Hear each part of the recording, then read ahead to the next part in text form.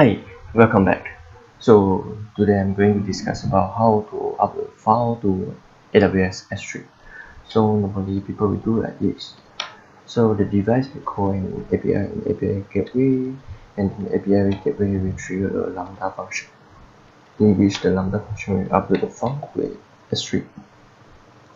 The, the Lambda the payload of Lambda function is limited to 6 megabyte only so any file that are larger than this will be will return an error.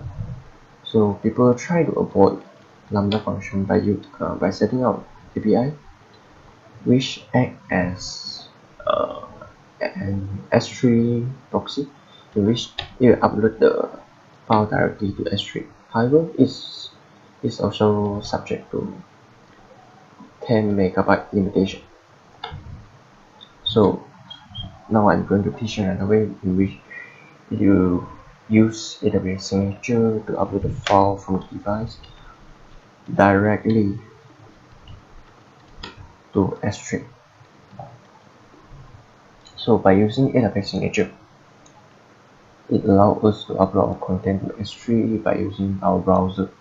In this case it is using HTTP post request so it's not only limited to the browser actually so I'm going to demonstrate you on how to use this method in mobile education.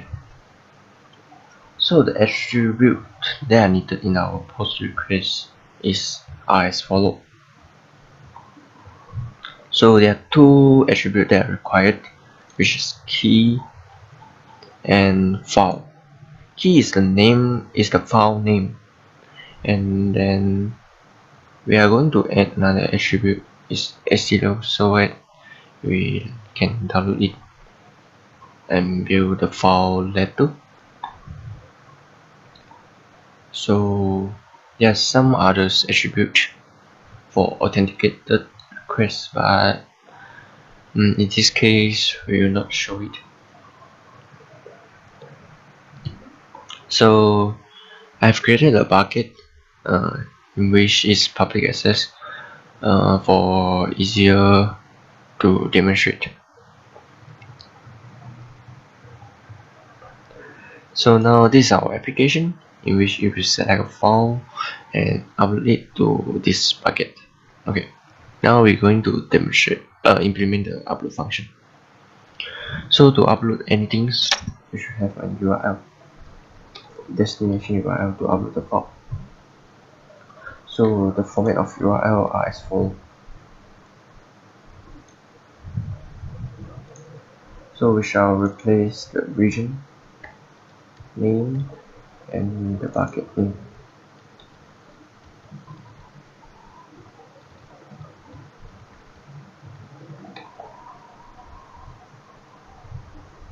So now we should construct our request so in browser if you want to upload a file it's using multi-part request. So same goes to here.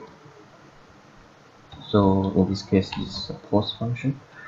And then we should pass our URL to URI so now we're going to add a file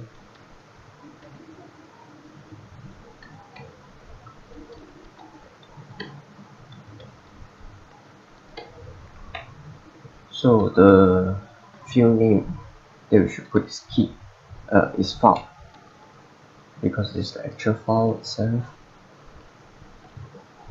And then we add file path. But because it's future so we should read it. And then now we should add other attributes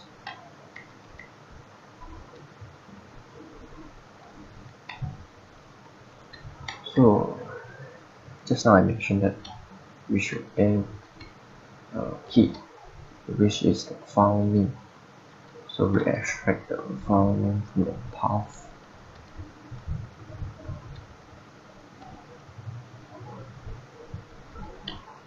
And then we should also add the ACL uh, make so that we can make the file as public readable so that we can check our file letter. So now we send our request.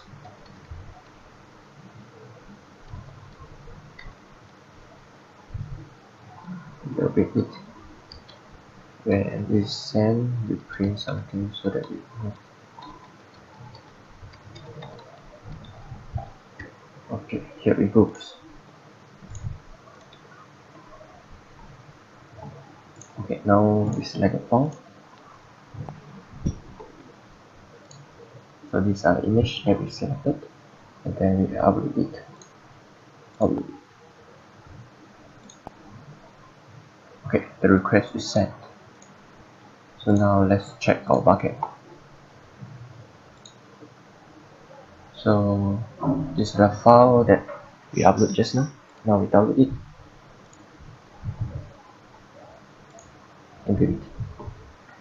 so this is the file that we uploaded just now and then the documentation I will put in the description later on okay. Hope you learned something. Thank you